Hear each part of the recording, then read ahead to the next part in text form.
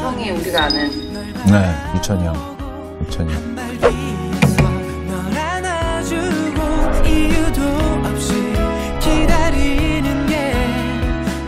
좋아했어요. 형도 가고 싶다고 했는데 너라도 가서 개고생하라고. 너는 좀 고생해야 된다고. 피부도 좀 태우고. 세관 신고하고 들어왔어요. 형한테 전화 왔었는데. 어, 형. 출발했어? 어, 나 지금 공항이야. 아이고, 야, 몸 조심하고 잘 갔다가 아, 알았어요. 다치지 말고 사진도 좀 찍어 보내주고. 알았어. 궁금하거든. 알았어. 아, 조심히 갔다 와. 어, 어. 어. 다온 것 같은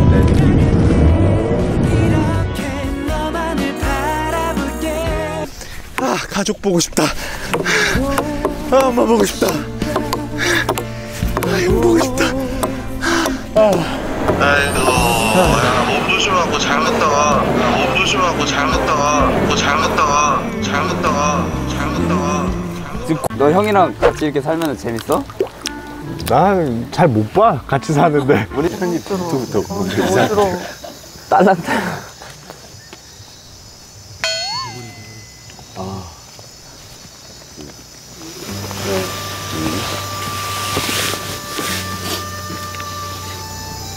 어, 유하나 형이다. 어, 유하나 형이다. 형한테. 우선 너의 첫 예능을 진심으로 축하한다. 그것도 형이 정말 좋아하는 정법이라니. 정말 축하해. 어때? 하면서 물음표. 너에게 쓰는 첫 편지라 너무 어색하고 그렇지만 그래도 이 편지를 읽는 동안 고단했던 너의 하루를 잘 마무리할 수 있는 시간이 되었으면 좋겠어. 이제는 형이 너에게 어떤 도움이 될 수 있을지는 모르지만 형도 형의 자리에서 열심히 할 테니 지금은 강남구청. 바로 여기. 너도 너의 자리에서 열심히 해줘. 때로는 갈라지고 피나고 아파 걸을 수 없을 때에도 널 응원하는 가족들을 생각하며 힘내줘. 너무 사랑하고 오늘 하루도 정말 고생 많았다. 구청에서 너의 영 유천이.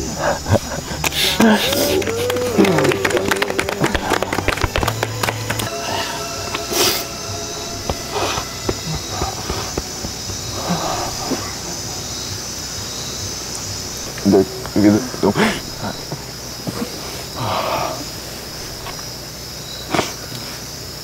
저도 아버지가 3년 전에 돌아가셨어요.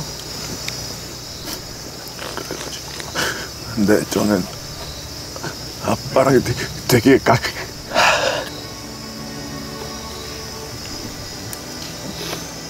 어, 되게 가까웠는데 어릴 적 미국 가서 부- 부모님이 이혼하지 하셔가지고 아빠랑 가- 가- 같이 시간 많이 못 보냈는데 많이 생각나더라고요.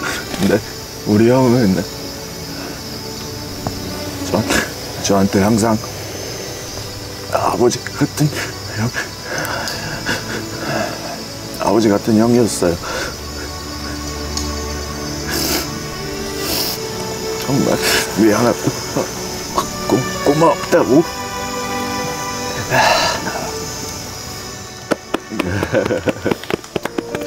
아, 이러면 안 되는데.